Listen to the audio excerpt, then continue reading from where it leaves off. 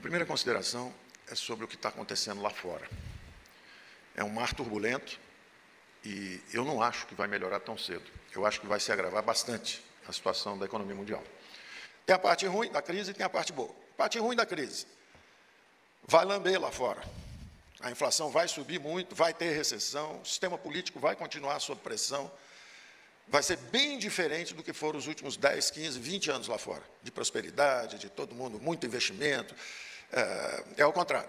Vai ter inflação, Federal Reserve subindo juros, as bolsas caindo, muita crise, muito, muito, muita dificuldade lá fora. Agora, ao mesmo tempo, tem uma oportunidade. Nós escutamos a secretária do Tesouro americana, Yellen, agora, 20, 30 dias atrás, em Washington, dizendo o seguinte: a partir de agora existem dois grandes requisitos para os investimentos internacionais. O primeiro é um requisito, uma exigência logística. Não adianta a gente fazer semi-manufaturados em Taiwan, se amanhã a China tomar Taiwan, bloquear o Pacífico Sul. Nós precisamos, do ponto de vista de exigência logística, que os investimentos estejam próximos. É o near shoring. Tem que estar perto da gente. Agora, estar perto só não é suficiente. Por exemplo, a Rússia está bem pertinho da Europa. E não resolve o problema da Europa, porque 40% da energia está agora sob pressão, além dos alimentos. Então, tem que estar perto, mas tem a segunda exigência: tem que ser amigo. Friendshoring. Tem que estar perto, exigência logística. Tem que ser amigo, exigência geopolítica. Aí nós estamos falando do Brasil. Quem é que está pertinho e é amigo? Tanto da Europa, quanto da América, quanto da China, quanto da Rússia. O Brasil dança com todo mundo. Desde que o governo Bolsonaro entrou, falou isso. Nós estamos aqui para recuperar o tempo perdido, queremos recuperar o caminho da prosperidade. Entramos e fizemos logo acordo do Mercosul, acordo da União Europeia, acordo do EFTA, European Free Trade Area, estamos entrando na OCDE. Em todas as dimensões, se você pegar uma economia, ela se move em RN, né, um espaço n-dimensional. Qualquer dimensão que você olhar, nós estamos andando para frente.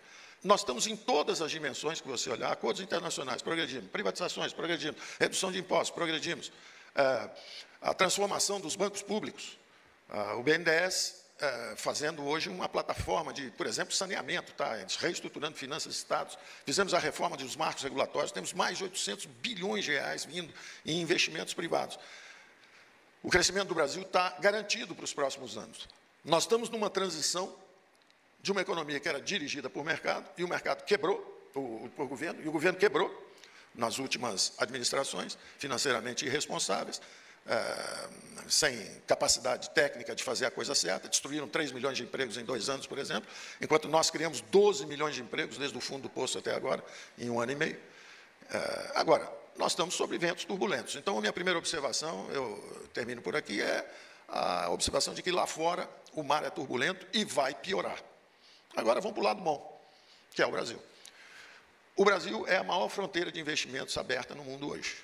A reforma dos marcos regulatórios é, nos permite agora ampliar o que já era, já estava acontecendo naturalmente, uma retomada gradual do investimento privado, é, agora virou uma avalanche 800 bilhões, nós nunca tivemos um compromisso dessa ordem de magnitude é, para os próximos anos, e isso garante o crescimento da economia brasileira.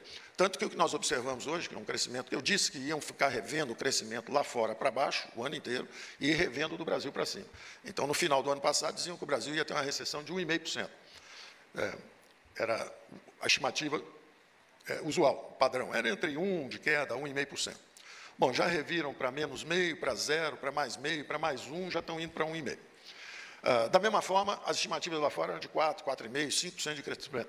Já fizeram a revisão para 4, para 3, para 2, já estão falando em recessão na Europa e nos Estados Unidos. Eu não tenho a menor dúvida que vem uma recessão na Europa e nos Estados Unidos. Não tenho a menor dúvida, por uma razão muito simples. Eles mesmos já sabiam, quando fomos a Davos em 2019, eles mesmos já diziam, nós estamos num synchronized deceleration. Nós estamos descendo, tentando um pouso suave. Eles estavam já tentando um pouso suave. Quando veio o Covid, e quando veio, que é um choque adverso de oferta, e quando veio a guerra da Rússia com a Ucrânia. Desorganizou as cadeias produtivas e não existe mais o pouso suave para eles. Eles não têm mais essa alternativa. Já é um hard landing, já é uma aterrissagem turbulenta, vai voar asa para um pedaço, asa para outro pedaço, já, já, já vai dar errado. E enquanto isso, você tem o Brasil ao contrário começando a decolagem de novo. Nós já estávamos decolando quando o Covid pegou, nós caímos menos, voltamos mais rápido e fizemos reformas durante a crise. é, o Banco Central independente para garantir que a inflação vai estar sob controle, os marcos regulatórios para expandir os investimentos, os acordos comerciais. Então, o Brasil é hoje, foi citado lá fora, na mídia lá de fora, como um exemplo de combate à inflação, porque, ao contrário dos outros que estão fechando e se protegendo, o Brasil está abrindo a fronteira e dizendo: venham, comecem a entrar. Mas tudo muito cuidadosamente, porque nós somos liberais, mas não somos trouxas. Nós não vamos, enquanto não completarmos a nossa reforma tributária, não aumentarmos a competitividade da indústria brasileira, nós não podemos abrir tudo ao mesmo tempo.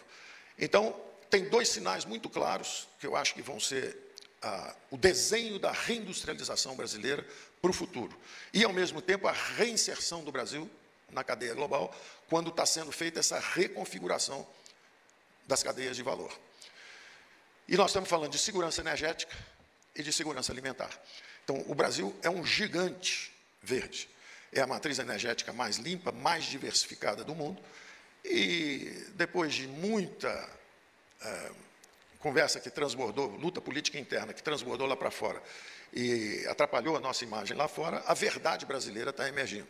Quer dizer, o presidente sempre insistiu nisso. Quer dizer, primeiro, o presidente já foi eleito numa economia que é a quarta economia com a maior penetração digital. Então, o Brasil já é um gigante digital. Ao mesmo tempo, fizemos a nossa renovação agora do marco regulatório com o 5G. É, do outro ponto de vista também, que é da segurança é, alimentar e energética, o que acontece com o Brasil é que a Europa olha para o Brasil como a segurança energética. E a Ásia olha para o Brasil como segurança alimentar. A Organização Mundial do Comércio diz que o Brasil é a reserva alimentar do mundo. O Brasil, o mundo passaria fome se não fosse a velocidade com que o presidente Bolsonaro, inclusive, está reagindo à crise, não só com a política interna, mas também com os acertos externos. Buscar fertilizante, 85% dos fertilizantes nossos era importado, ele foi lá, fechou um acordo, trouxe 26 navios com 700 toneladas eh, de fertilizantes para o ano que vem, já garantiu a, toda a renovação da safra nossa que vem por aí. Então, o governo brasileiro está agindo com muita velocidade, está reagindo à crise e abriu-se agora um horizonte que é justamente uh, o espaço para a energia eólica e principalmente para a produção de hidrogênio verde no futuro, que parece ser uh, o combustível do futuro, né? quer dizer, a energia do futuro, vamos botar assim. É, e já há planos, dizem que no Nordeste brasileiro nós podemos fazer entre 10 e 50 Itaipus. É, esse é o discurso do presidente. Eu fico por aqui, então. Eu fico por aqui dizendo o seguinte: é, o Brasil é o lugar, o Brasil é o lugar para estar agora. É onde tudo vai acontecer. Eles estão sincronizados descendo e nós estamos começando a decolar. Então vamos lá, presidente.